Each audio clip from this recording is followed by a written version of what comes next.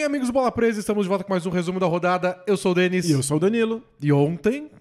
Ontem deu certo, Danilo. Você reclamou que no dia anterior os jogos tinham sido bons. Agora nós tivemos dois jogos, no mínimo, fascinantes. É, o Celtics e Bucks foi espetacular. É tudo que a gente espera de um jogo 5 numa série empatada 2 a 2 E ainda mais com dois favoritos ao título. Não só do leste, mas da NBA envolvidos. Aí foi um jogo assim perfeito. Não, teve de tudo, altos e baixos, times se recuperando, decidido nos, nos segundos finais.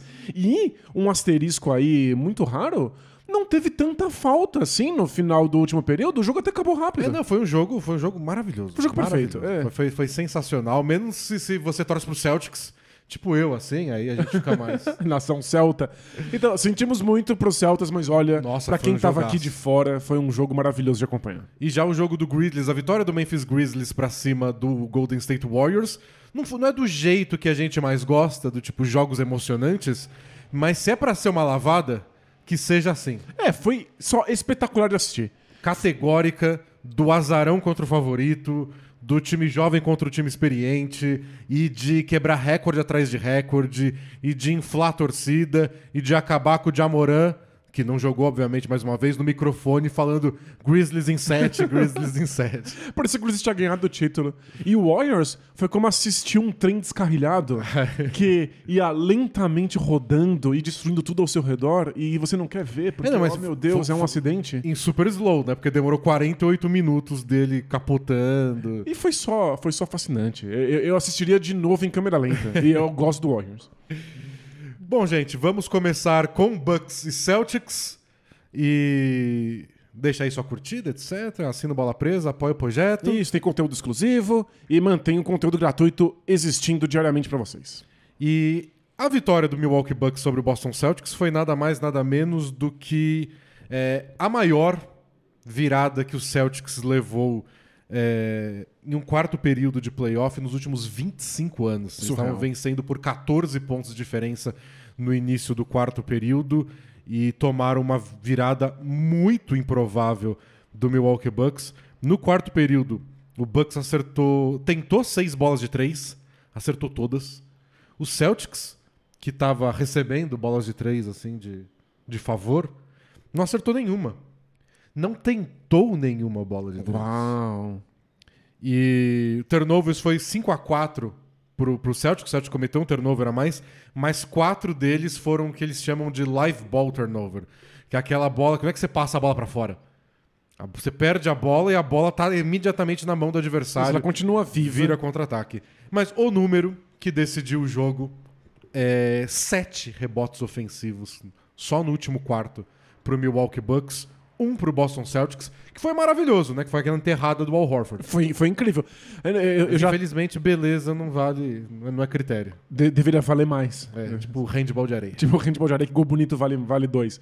Mas é, eu já tava pensando aqui, não é possível que a gente vai ter outro resumo da rodada falando de como o Al Horford acabou sendo o herói de um jogo. E ele pulou 10 metros de altura. Não, sério.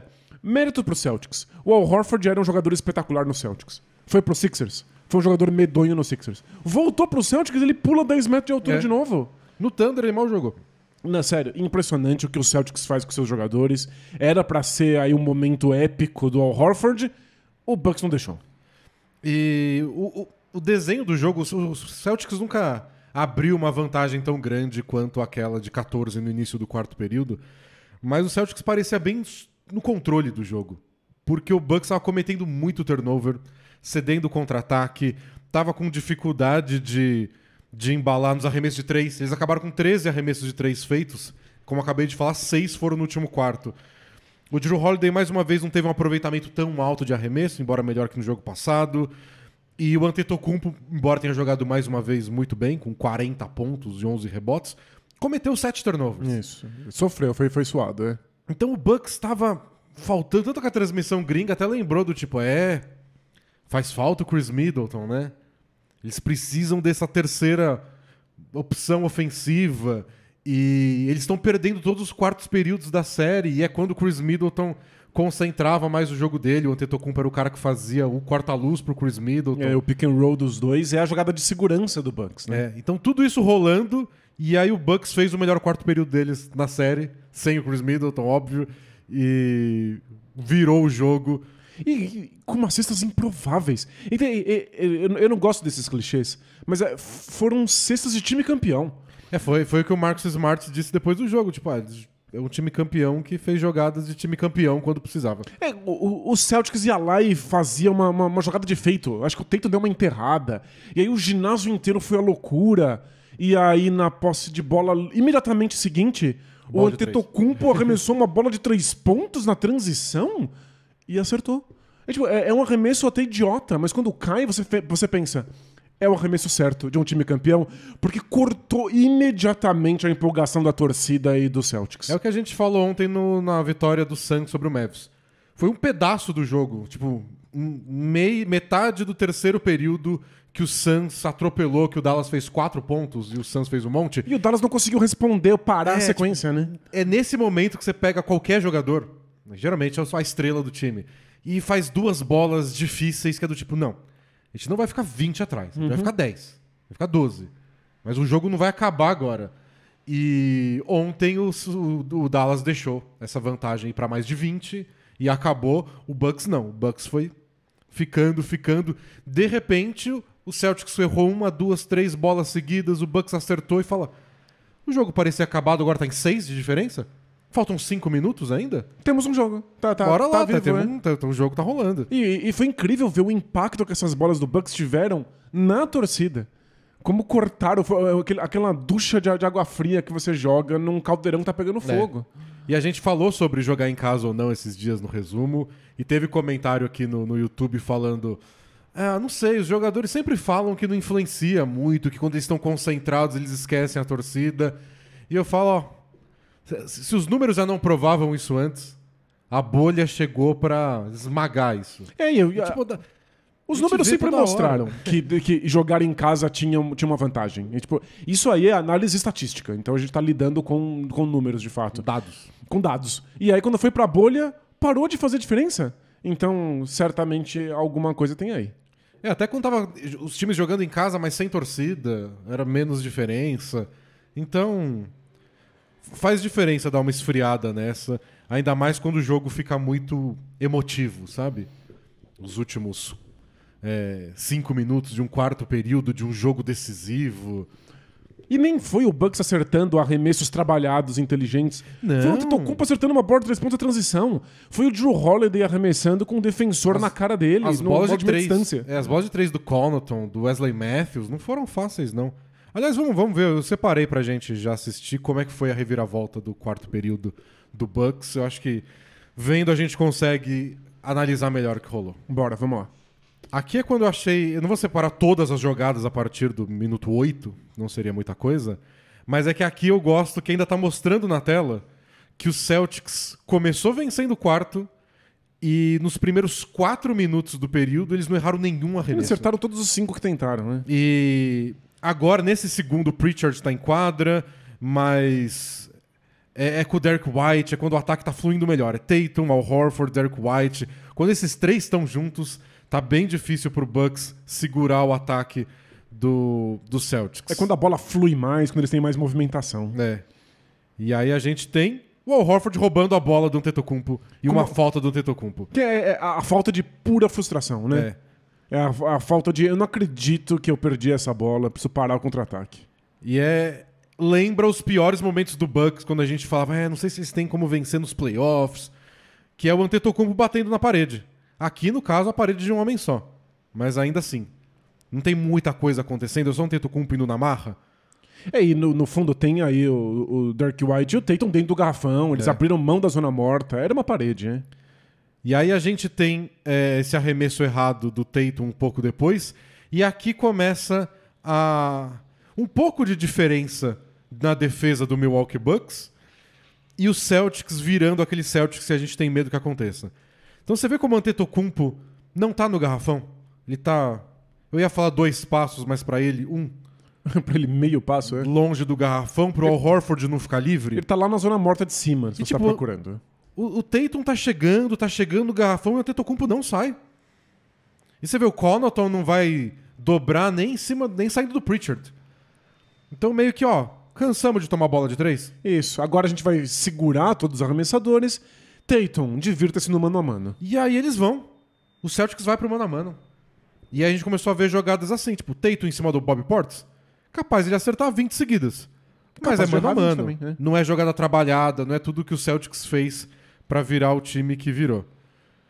E aí o Celtics consegue, na transição, uns mismatches mais diferentes, né? Tipo, Pritchard marcando o Tetocumpo.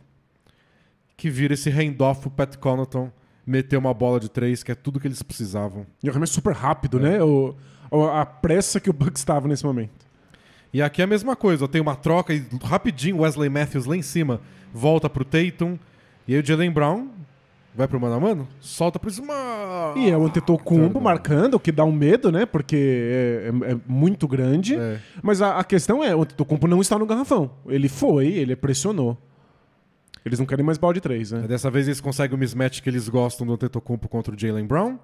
E aí ele ataca, erra, e aí um rebote ofensivo do Bobby Portis que sofre a falta imediatamente. Marcus Smart, depois do jogo, falou: se a gente fizesse o box out, que é aquela proteção pro adversário não pegar o rebote, a gente ganhava esse jogo. É o Eles- que faltou. Eles perderam muitos rebotes ofensivos nesse quarto decisivo. Sete rebotes ofensivos é muita coisa. Teve um que ele trombou com o Jalen Brown, né? Foi... Ah, né, chegaremos. É, E aqui, de novo, marcação individual bem pressionada. Eles conseguem a troca de marcação. Tem o Pat Connaughton marcando o Al Horford. E essa é uma das jogadas de time campeão.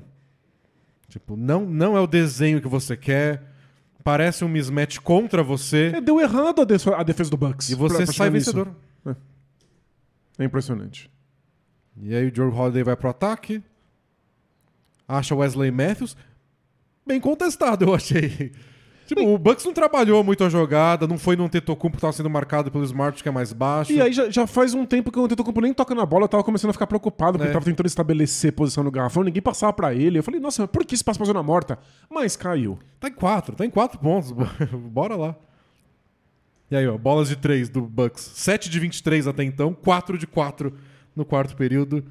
Mais uma vez o Tatum no mano a mano. E o mano a mano contra o Connaughton. Ele venceu tanto esse duelo no jogo passado. Ah, mas ele quase venceu esse, né? É. Tipo, E aí falta um pouquinho, é uma bola que não entra e vira mais um ataque pro Bucks. e aí um contra-ataque tudo destrambelhado. É. E aí uma falta do Derek White pra parar o contra-ataque.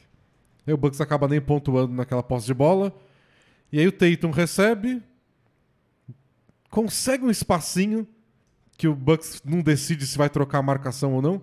Quando o Bobby Portis volta, o Tatum tem um pouco de espaço. Aí foi mais um mano a mano do Tatum. Mas finalmente, dessa vez a bola entrou. né? Na vai cair, quarta claro. tentativa. Agora um pick and roll, Drew Holiday Tetocumpo. E o Drew Holiday, sei lá o que ele fez aqui, porque... Eu não sei como essa bola chegou no ar, né? É. Porque o Tetocumpo tá bem posicionado de novo. Ele tenta segurar o Drew Holiday, o Jalen Brown pro Drew Holiday entrar. Mas, Mas o Al Horford, Horford não fica perde a- Não- É. Não, sério, que, que, que, que jogo defensivo do Al Horford. E aí ele tenta isso aqui caindo pra trás. E aí tem o Antetokounmpo cercado de quatro. É o Antetokounmpo que pega a bola. Mais dois pontos. então, rebotes ofensivos a rodo. Dessa vez é o Jalen Brown com a bola, vai fazer o bloqueio do Tatum. Eles trocam a marcação, ninguém fica livre. O Jalen Brown ataca o Wes Matthews. É mais um mano a mano. Como aqui trocou a marcação, O, o, o, o Jalen Brown pensou, agora vou eu. É, tipo, não- nenhuma vantagem foi criada. Ele foi só na marra, no talento. Conseguiu um arremesso fazível. Né? Mas mais uma vez, é tipo zero, posses, zero passes em uma posse de bola inteira do Celtics. Aí ess- essas aqui. Tipo, sim, me isola aqui eu que tô com aproveitamento baixo de arremesso, eu vou no mano a mano contra o defensor do ano da NBA. É, lembrando que o Jordan acabou com 9 acertos em 24 tentativas. É, foi melhor que o jogo passado, que foi 5 de 22, mas não foi nada fora de série. É uma bola de meia distância, ele nem conseguiu criar espaço, não tem um passo pra trás, não tem nada. Ele só arremessa na cara do Smart, a diferença tá em dois. Aí você pensa, que bom que a gente conseguiu o Drew Holiday. É. Mas é. Não é o arremesso mais esperto do mundo, mas que, é que quando cai. É só pra ganhar jogo. Aí mais um ataque. E mais um. Esse aqui tem um. Rolou mais coisa antes, que foi pro, pro fundo bola. E o Celtics, por essa, por não ter essas vantagens que, o- que a defesa do Bucks costumava dar, que estão só trocando tudo e pressionando, eles não estão gerando nada no começo das posses de bola. Então reparem que todos acabam assim. Então 7 segundos. Eles têm que fazer alguma coisa. 3 segundos. É mais um mano a mano, no fim das contas, do Tatum, que recebe na linha do lance livre. E aí chora e cai. E Boa Portes quase alcançou ali. Muito importante essa bola, que abriu 4 pontos pro Celtics. Ah, essa foi um pouco antes, né? Que eles estavam com dois de vantagem. Troquei a ordem aqui, que foi o toco do Antetokounmpo. Foi, foi essa bola que gerou o fundo bola que a gente acabou de assistir.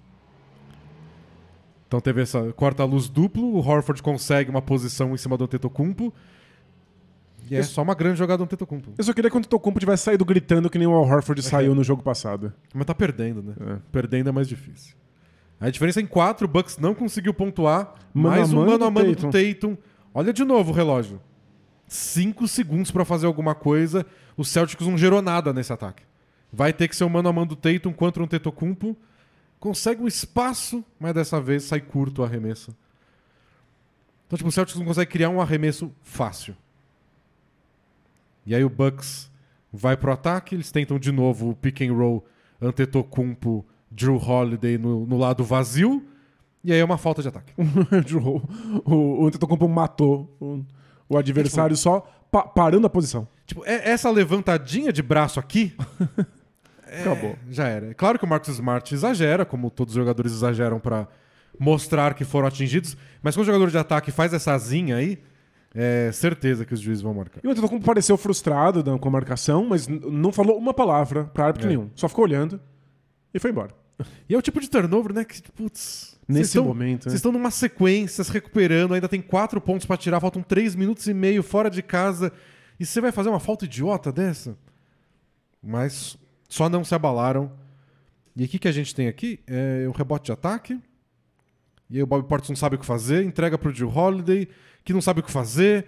E aí erra, e mais um rebote de ataque, e não consegue. Aqui eu falei, tipo, não, acho, que, acho que morreu a sequência do Bucks. viu? É, porque a, questão é que o Celtics não tá criando bons arremessos, mas o Bucks também não tá. Pois é. A gente tava vendo aí, o, é, é sempre... Eu não quero dar um arremesso, o Portes abriu mão de um arremesso que ele tinha. Passa pro Joe Holiday, e o Joe Holiday não, não tem muito o que fazer ali, fora dar arremessos contestados também.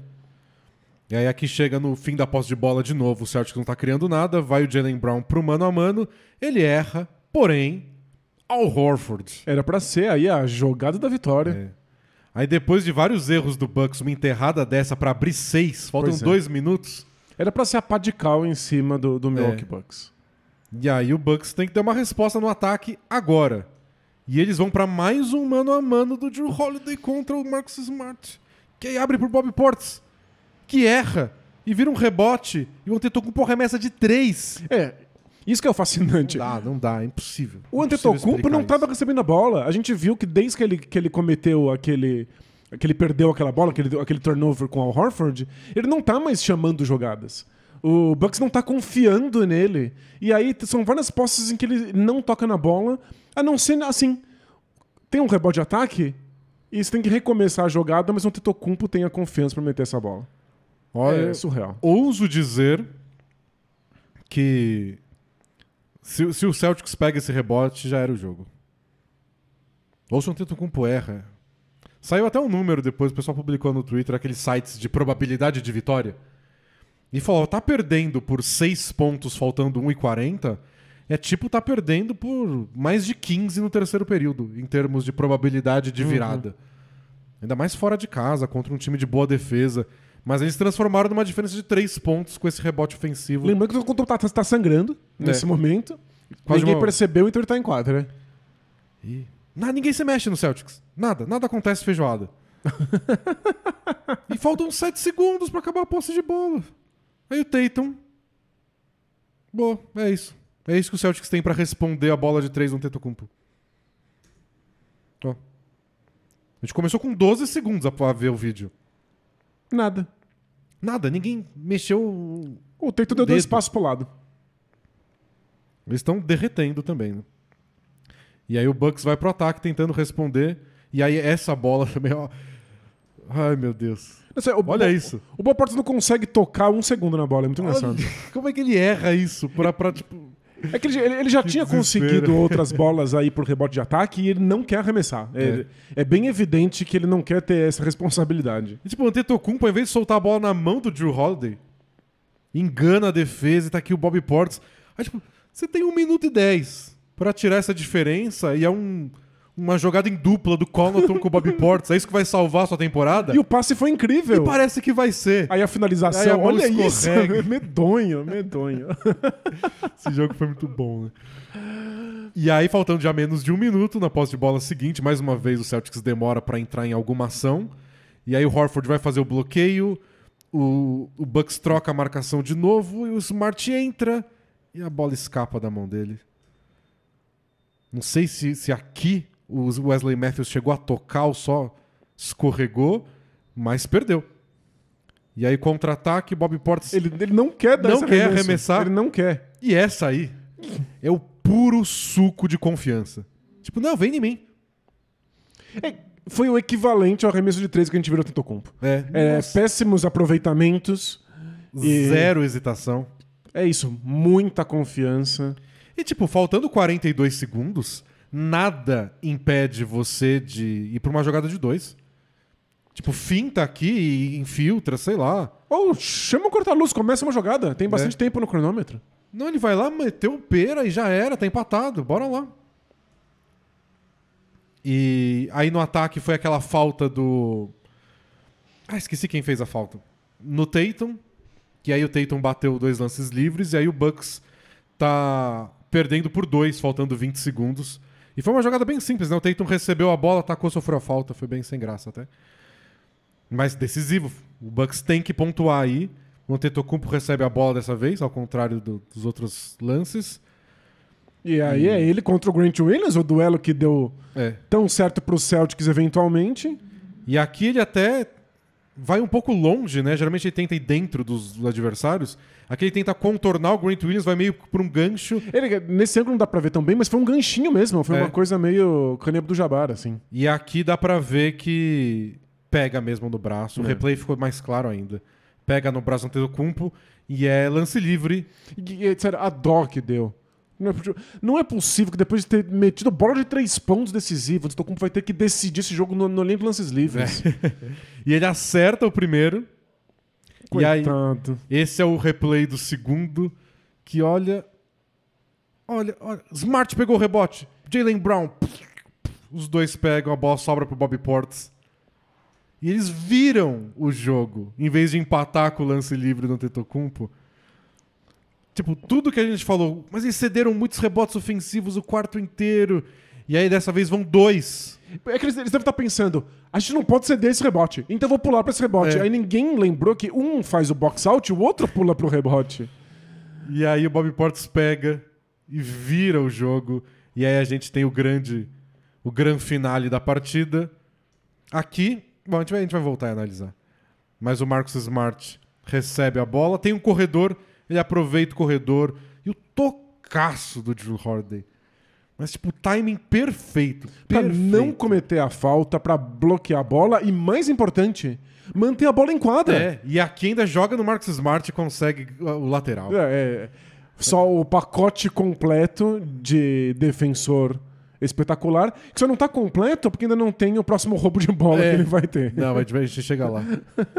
E aí rolou muita discussão ontem dos torcedores do Celtics por que a bola Foi pro Marcos Smart. foi pro Marcus Smart e não pro Tatum.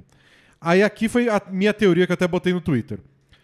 Pela, posi- pela posição do Jalen Brown aqui, parece que ele tá fazendo um corta-luz pro, pro Smart, que não dá certo. Mas parece que ele tá, certo? Sim, ele tá tentando Agora- fazer um corta-luz. Olhem o Al Horford aqui no meio. Ele demora, mas ele vai fazer um corta-luz pro Tatum. Perfeito. É que aqui, quando ele faz o corta-luz, a bola já tá na mão do Marcus Smart.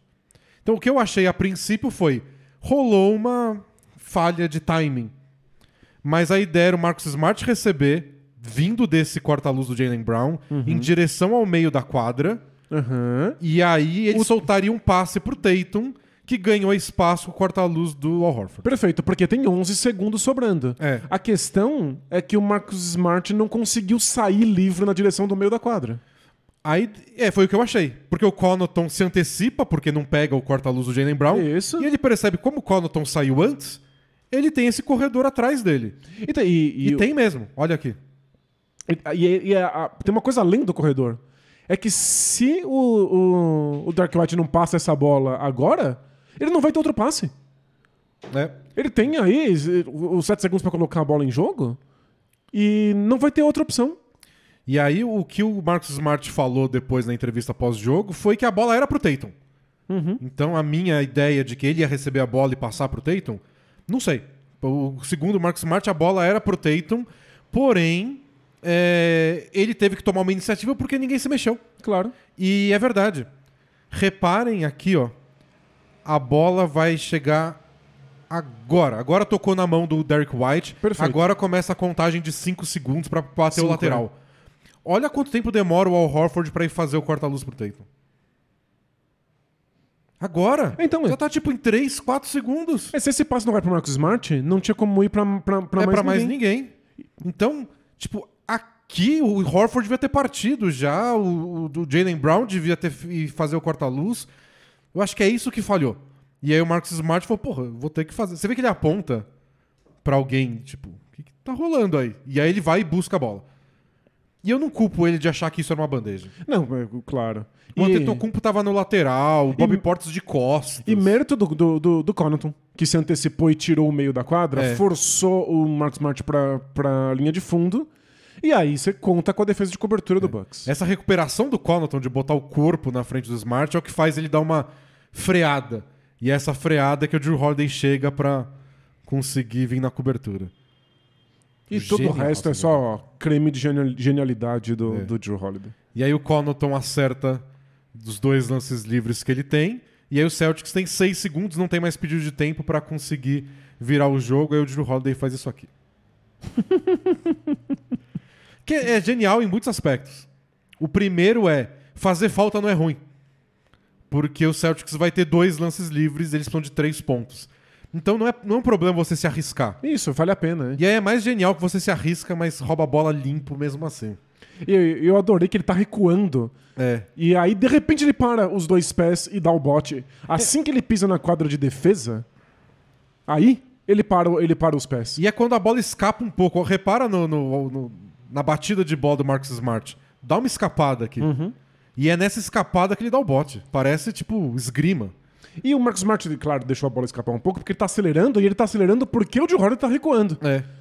Mas essa mudança de direção do Drew Holiday. Mas nossa, eu achei, achei puro. Muito esgrima isso. Ele vai recuando, recuando e pá! Dá uma. Não sei que categoria ele, ele jogaria. Drew Holiday. Sabre? Não sei como é que é. Só, só lembro em época de Olimpíada.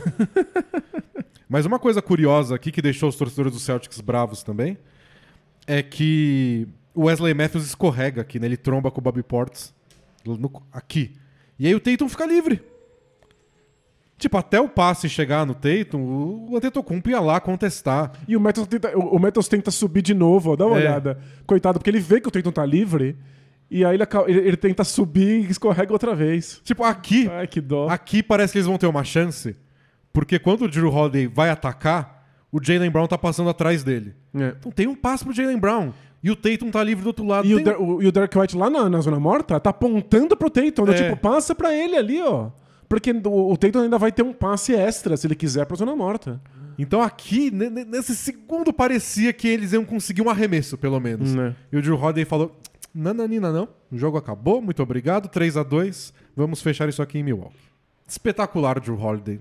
Só as jogadas certas no momento certo. Aquela bola de três idiota. Que ele nem hesitou, falou: não precisa de três, vamos lá. É Ah. A outra bola de meia distância. É, e olha, defesa do, do Bucks finalmente encaixou e pressionou. E se o Pat Connaughton teve um grande momento defensivo, é porque tu- tudo deu certo pro É, Bucks. não. Eles foram muito bem nessa defesa individual e o Celtics meio que Voltou. paralisou. Ele- eles voltam para esses hábitos ruins de, de anos anteriores, quando eles não têm dobras de marcação, não tem um jogador que tá livre em algum lugar da quadra para eles rodarem a bola e procurarem, eles acham que o duelo individual é bom o suficiente. É, e, e às vezes é só começar mais cedo, sabe? Você começa um duelo individual mais cedo no relógio de 24 segundos. Se você ganha uma vantagem, você consegue um passe, a bola começa a rodar. Esse tem sido o melhor Celtics. Bati em mim mesmo. Esse tem sido o melhor Celtics ao longo da temporada inteira e eles só não conseguiram repetir no momento crucial do quarto período de um jogo 5 contra o atual campeão que e a defesa continua funcionando, o Celtics. Faltou uma parte essencial que é, Que é- pegar o rebote. Pois é. Porque o Bucks não deu arremessos livres. Não teve bandeja não. sem contestação. Foram É, tipo, todos a- arremessos brigados que eles só conseguiram converter em pontos porque rolou muito rebote de É, ataque. as cestas mais fáceis do quarto período do Bucks foram rebotes de ataque. né? O resto eles conseguiram assim, foi, foi bola difícil e faz parte do processo de ganhar jogos complicados, acertar arremessos difíceis. O Bucks conseguiu, o Celtics não. É, A coletiva pós-jogo do Marcus Smart, que foi o vilão da partida, né? Cometeu dois turnovers no último minuto, tomou o toco. Foi legal, assim, ele analisou tudo, conseguiu reconhecer os méritos do Bucks. A do Emil Doka, que era o técnico, ele falou as coisas certas e a cara dele tava tipo: Arrasado. né? Nossa, eu só quero que esse dia acabe e ficar na cama uma semana comendo chocolate. É isso que eu quero. Coitado. é. E aí o Celtics tem aí tempo bem curto pra conseguir dar a volta por cima, porque eles conseguiram dois ótimos jogos em Milwaukee. Um eles ganharam, o outro ficou por um tapinha do Al Horford no último segundo de levar pra prorrogação. A série não acabou, mas tem que lidar com frustração, tem que lidar com a torcida adversária, tem que lidar com a confiança do Bucks. Vai ser difícil, mas dá. Lembrando que times que ganham o jogo 5 vencem quantos por cento? Mais de 80%. 82%. 82% das séries. Então, os números estão a favor do, favor Ma- do Bucks. Mas 80% das vezes o time da casa ganha um jogo 7. Então, se o Celtics conseguir levar o jogo 7 pra casa, Perfeito. as, as odds mudam a E- seu favor. Invertem perfeitamente. Bom, vamos pro Oeste, onde aconteceu um massacre. O massacre de Memphis. o Memphis Grizzlies não só venceu o Golden State Warriors mesmo sem Jamoran, como chegou a liderar por 55 pontos. 55 é a maior vantagem que um time abriu sobre o outro num jogo de playoff desde 2009, quando o Nuggets abriu 58 sobre alguém aí que eu não lembro. É, E quando eles acabaram o terceiro quarto, graças a uma bola de três pontos do Warriors, pra estragar ali no, no estouro do cronômetro do terceiro período, a vantagem estava só em 52. E aí, 52 pontos, a maior vantagem depois de três períodos dos últimos 70 anos dos playoffs. Foi surreal. Faltando 3 minutos e meio pra acabar o terceiro período, já era garbage time. Os titulares já tinham ido pro banco de reservas. É, não valia a pena. Já, só, só não valia a pena, não tinha mais como Não tirar tinha. uma vantagem desse tamanho. Se é 20, você ainda. Vai que a gente embala três bolas de três seguidas, né? Se é 30, fica mais difícil. Se é 50, você só abaixa a cabeça, aplaude o adversário e fala: a gente tenta terminar em casa no próximo jogo. E esse é o problema para nossa análise dos números. Porque parece que foi um atropelamento, parece que deu tudo certo pro Grizzlies, tudo errado pro Warriors. E não, os números camuflam. Foi ainda pior. A diferença dos times foi ainda mais gigantesca. É, no- no- Porque no garbage time, com os reservas dos dois times, o jogo foi até mais parelho. No basquete de sets, foram. Foi 3 a 1 porque o Warriors ganhou o último de 28 a 15. Pois é. Eles quase dobraram os pontos do Memphis no último quarto pra perder só por 39. Ex- Exatamente. Então, não se iluda. O placar final não mostra o tamanho do atropelamento É, de não. trem que a gente teve na partida. O Grizzlies fez 15 pontos, 15 no último quarto e acabou com 134. Fizeram 38 no primeiro período, 39 no segundo, 42 no terceiro. É, tipo, no- o primeiro tempo do jogo, o Grizzlies marcou 77, que foi o máximo da história da franquia em primeiros tempos de um jogo de playoff. É... 25 pontos de desperdícios de bola do Warriors.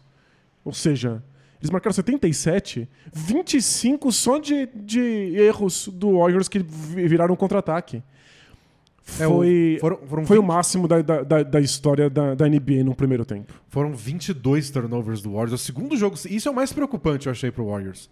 É o segundo jogo contra esse- essa versão do Grizzlies sem o Jamoran, que é uma defesa melhor, que eles não conseguem fazer o ataque funcionar. Tipo, nossa, eles tentam fazer passe aquelas coisas bonitinhas que eles fazem, de soltar aqui, corta, alguém vem pelas costas da defesa. Teve um momento, acho que foi no segundo período ainda, que acho que foram uns quatro turnovers seguidos. Não, 22 turnovers, de novo, é muito pouco por causa do quarto período que estragou. Pois é. Quando acabou o primeiro tempo, eram 14. Lembrando que a média do Warriors é 19. Chegou um momento que eu acho que tava, se eu não me engano, se eu não errei a estatística, tava 20 a 4 em turnovers. Porque tem isso, esse Grizzlies sem Jamoran, que é comandado pelo Tyus Jones, é muito mais é, cauteloso com a bola, eles cometem poucos erros. É que no último período, que foi quando jogou o Tillman, o Jared Cover, eles cometeram mais turnovers. O Conchar jogou o quarto período, e aí eles cometeram alguns turnovers que levaram, aumentaram o número total. Mas na parte que importava do jogo, foi meio que isso. 20 turnovers pro Warriors, 3, 4 pro Grizzlies. E tem- Com um bom aproveitamento de arremesso de todo mundo. É, todo mundo participa. Acho que é o grande mérito desse Grizzlies sem Jamoran é que todo mundo se movimenta o tempo inteiro. E a gente imagina, em geral, quando a gente fala de movimentação sem a bola, times que passam muito a bola.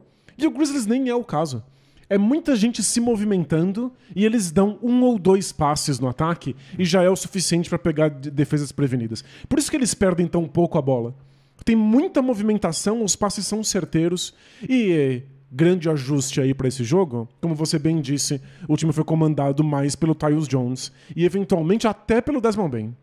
E aí a gente viu menos de Lon Brooks trazendo a bola pro ataque, jogando de armador principal de fato. Ele até participou bastante, arremessou bastante, mas sempre pegando a bola em movimento, sempre se movimentando sem a bola e cortando pra cesta. Mas, de novo, o Brooks teve o pior aproveitamento de arremesso do time. É.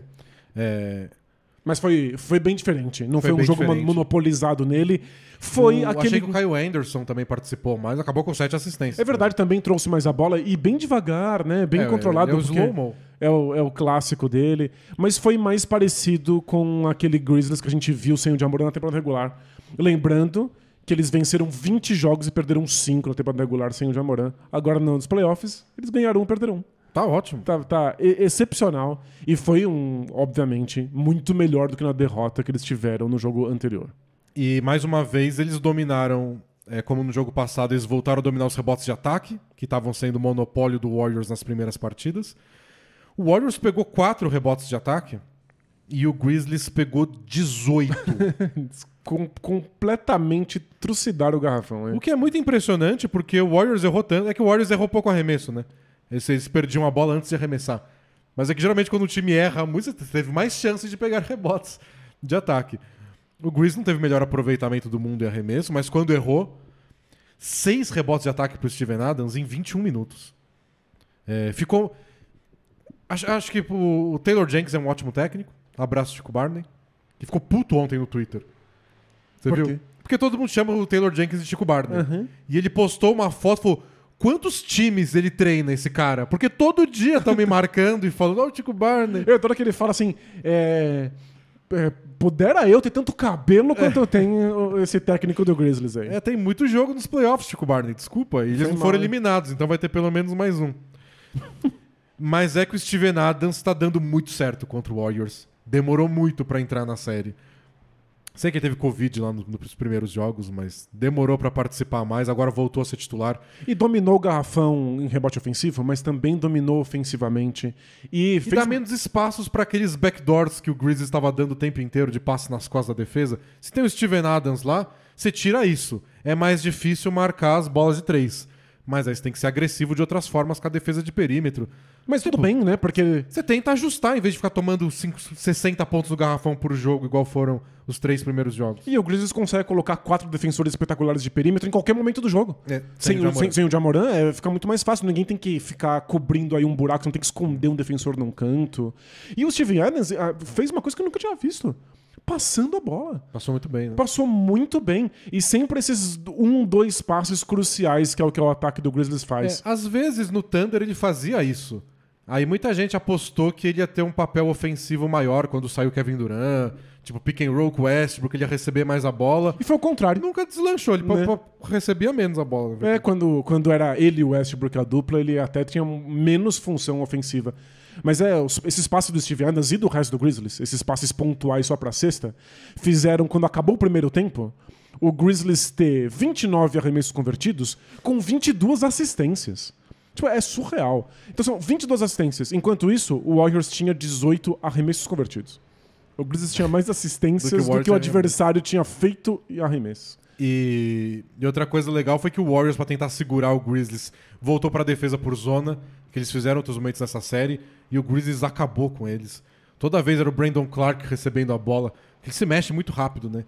Ele recebe a bola no meio da zona e já ataca e pontua. Ou se eles começaram a ceder ainda mais rebote ofensivo durante a zona. Então nada funcionou pro Warriors. Nada, nada, nada. Foi um massacre. E ainda foram alvo da zoeira do- da torcida. Porque tiveram duas provocações pré-jogo do Warriors. Uma do Draymond Green, que é comum, que não sabe calar a boca. Mas até o Steph Curry. Que o Draymond Green falou lá no- nos vídeos que ele grava depois dos jogos que ele meteu uma de aqui é Flamengo, sabe? Tipo, vocês não estão enfrentando o Minnesota Timberwolves, não. Vocês não podem vacilar assim. Aqui é Golden State Warriors. Aqui é time campeão. Tipo, papinho mais sem vergonha da história do esporte. E tomaram de 50. E o Curry perguntaram pra ele na entrevista qual era o plano pro jogo 5. E ele falou que era whoop that trick. A É. expressão que ele usou. Que é, é uma gíria pra. Uma, uma- gíria bem de, de cafetão pra chutar o traseiro de alguém, dar, um, dar, dar um tapa na bunda É, de tipo, alguém pra acabar punir a pessoa. é. Só que tem uma referência aí. Whoop That Trick é o nome de uma música, de um rap, que sempre tem referências a cafetões, Sim? que virou símbolo da torcida do Grizzlies. Porque em 2013, na série Grizzlies e Clippers, que era tipo MMA com uma bola no meio, Isso. estavam uma vez vendo o replay de uma treta do Zach Randolph com o Blake Griffin. Que era, tipo, uma vez por quarto rolava uma dessa. E aí, quando estavam revendo, começou a tocar essa música e, e a torcida foi no embalo e o Grizzlies virou aquele jogo, ganhou e virou a série. Tava 2x1 pro Clippers, o Grizzlies ganhou a série 4x2. E desde então, o Grizzlies volta e meia toca essa música essa em quartos música. períodos. É. Tocou no, no- no- antes da virada contra o Wolves no quarto período. Então virou um símbolo da torcida do, do Grizzlies. Então o Curry, sabendo disso, falou: "Ah, o plano do jogo 5 é esse. É Whoop That Trick. Isso, é. E aí o Grizzlies. Chutar o traseiro deles. O é. Grizzlies foi lá, o Grizzlies chutou o traseiro. E aí no quarto período, que tava em 50 a diferença, tocou a música. A torcida inteira cantando É. em uníssono. E o Draymond Green começou a dançar junto com a toalhinha, Meu, porque, e- tipo. E o Stephen Curry morreu de rir. Porque ele- eles falam bobagem, mas eles sabem que é bobagem. É. Eles entenderam que a zoação era merecida. é. O Warriors, pelo menos, eles têm essa de admitir a derrota.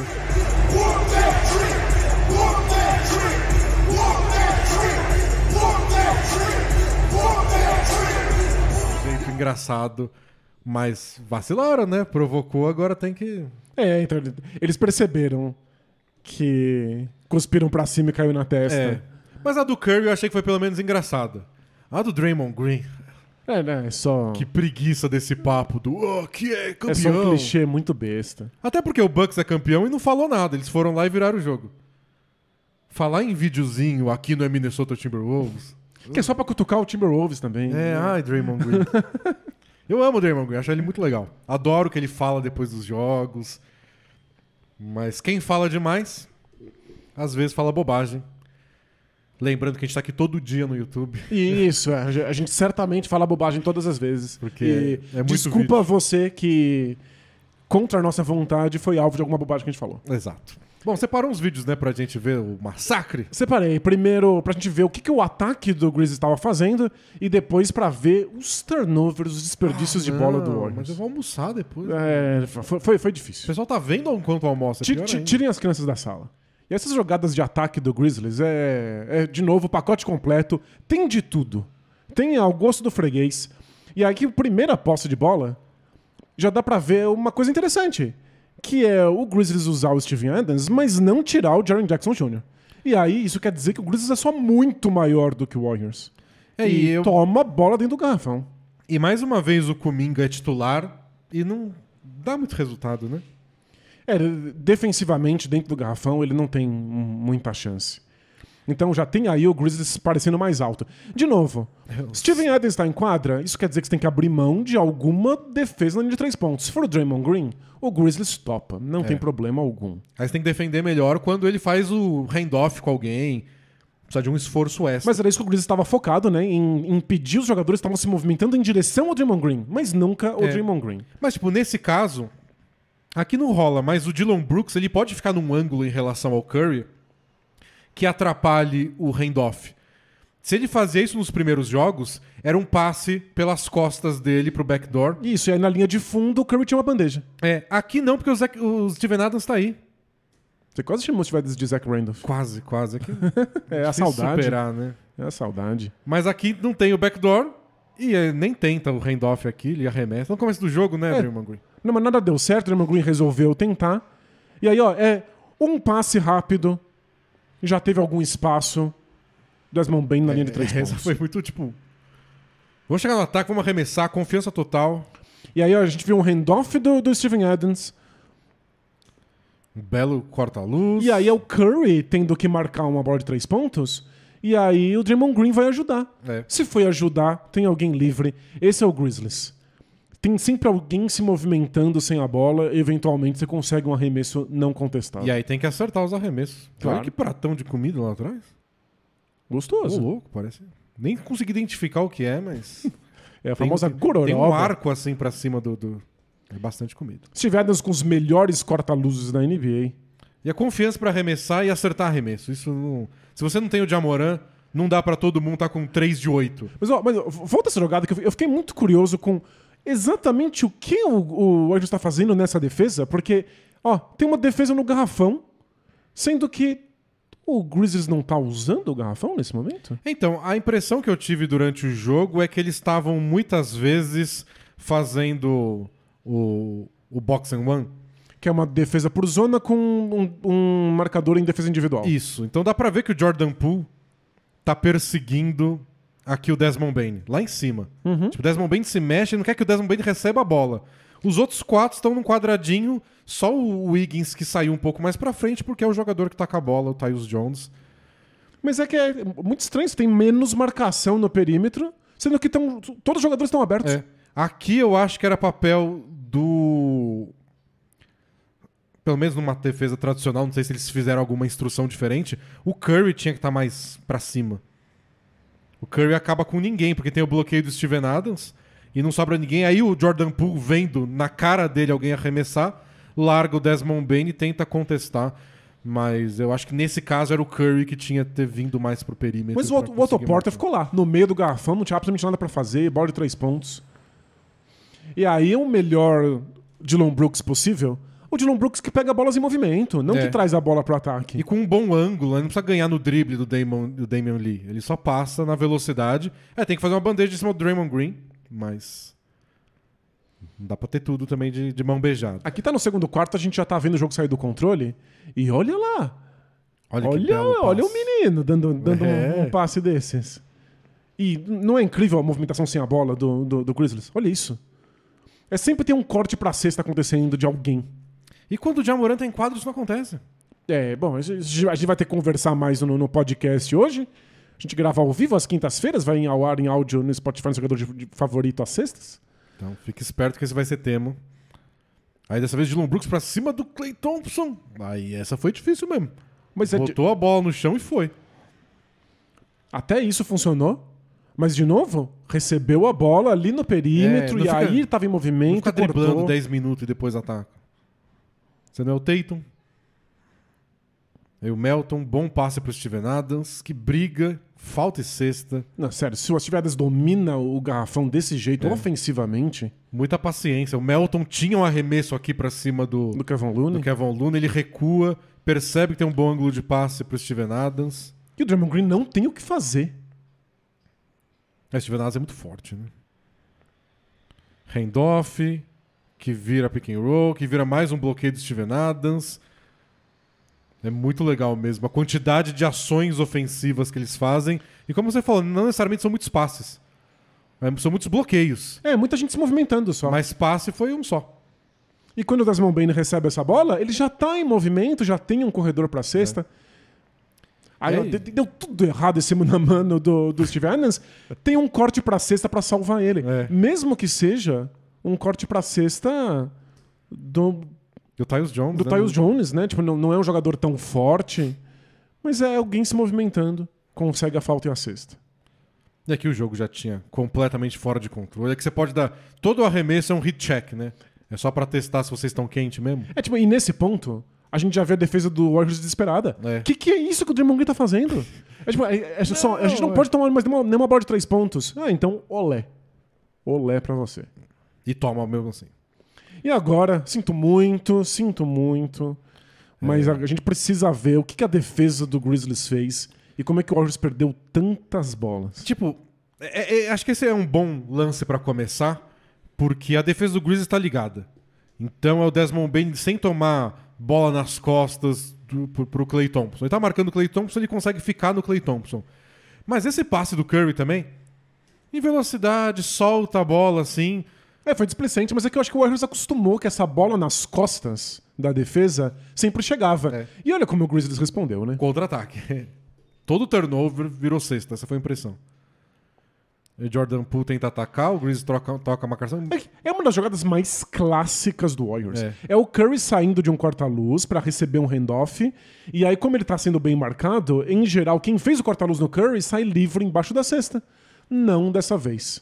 É, tipo, o Grizzlies sabia qual era a jogada, interceptou as duas possibilidades. Se bem que o handoff pro Curry era, era possível. Era possível, era bem possível. E olha o Desmond Bain ligado ali em cima, saindo do Clay Thompson aqui pra uma cobertura. Não sei se ele ia chegar a tempo, acho que não. Se o Otto Porter recebe é sexta. Mas parecia um pouco mais esperto com esses passes por trás. Que eles demoraram uns 3, 4 jogos pra se tocar o que estava acontecendo. Né? É uma boa finta do Jordan Poole, mas tinha cobertura. E olha o Jaron Jackson Jr. chegando no, no- no perímetro. Mas como ele não tá no garrafão, outros jogadores do É. Grizzlies estão. E a gente mostrou, né, outros lances em outras partidas do Jordan Poole passando pelo primeiro jogador de, de- de perímetro e fazendo bandeja. Corpo você tem que colocar.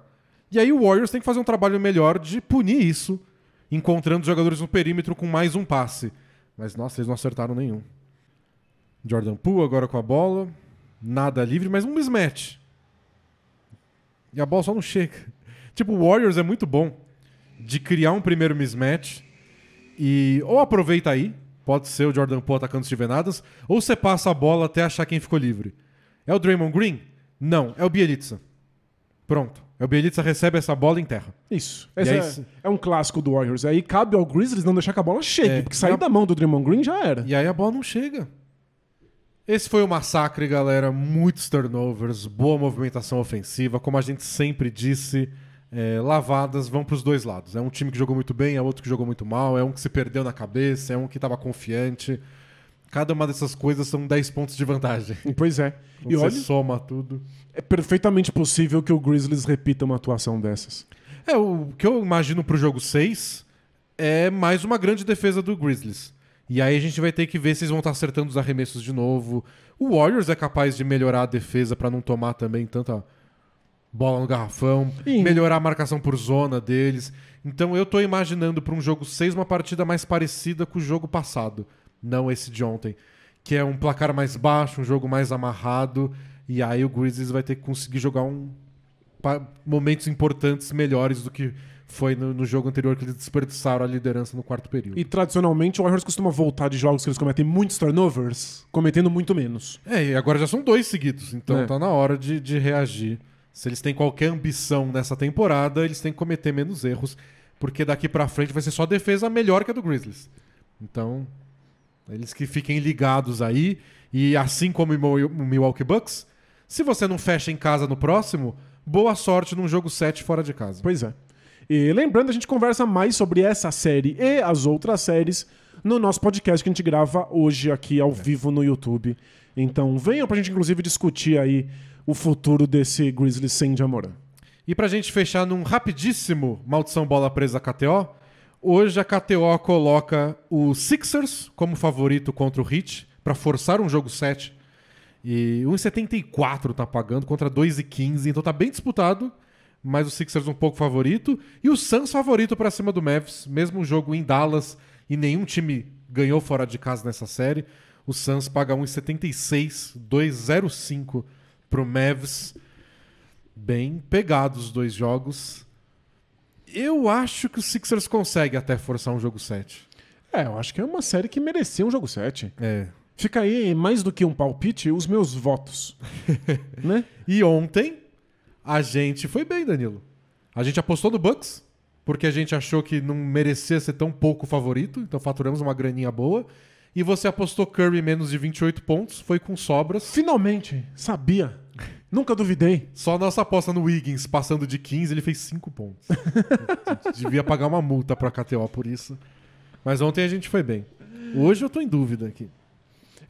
Eu, eu acho que a gente vai ter jogo jogo 7. Nos dois? É. Então pode fazer uma combinadinha? Tá? Pode, pode, pode. São duas séries muito boas, muito interessantes pra gente não ter jogo 7. É. Eu tô mais confiante que. Que os Sixers. É um pouquinho mais. É que eu acho que um jogo 7 a gente vai ter. É que eu acho que o Suns é tão bom. Eu sempre É. acho que o Suns vai ganhar. A gente deveria. Tá, é. As duas séries deles estão mais difíceis do que a gente imaginava, mas o Suns é muito bom. Mas esperamos que a gente seja- brindado aí com o maior prêmio possível pra quem gosta de basquete. Jogo 7, jogo decisivo. Ficamos aí nos nossos votos, nossa torcida, mais do que nosso palpite. É, E- tem hora que a aposta vai por esse lado. E amanhã, claro, tem resumo da rodada sobre esses jogos e aí a Isso. gente vê se a gente acertou. Antes disso, o podcast, onde a gente vai fugir desses jogos, porque a gente vai ficar atrasado muito rápido. Mas essa fase não tem jeito. Tem jogo todo dia, não tem como atrasar o podcast. Então acompanhe a gente aí mais tarde, às 5h30, a gente grava aqui no YouTube. Boa, mas aperta aí o sininho pra ser notificado quando a gente entrar no ar ao vivo. Até daqui a pouquinho. Tchau. Tchau, tchau!